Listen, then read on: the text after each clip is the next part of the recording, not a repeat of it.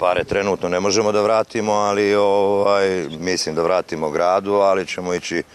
na onaj način koji je propisan, znači iće tužba,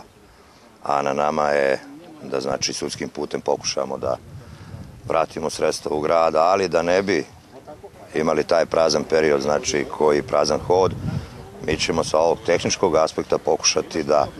izvukavši tih 460 miliona da nastavimo radove i da trošimo ono mislim da je to negde približno 700 miliona jer to je nešto obezbeđeno i krajnje je vreme da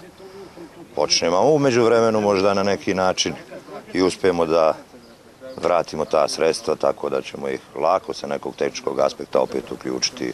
u investiciju.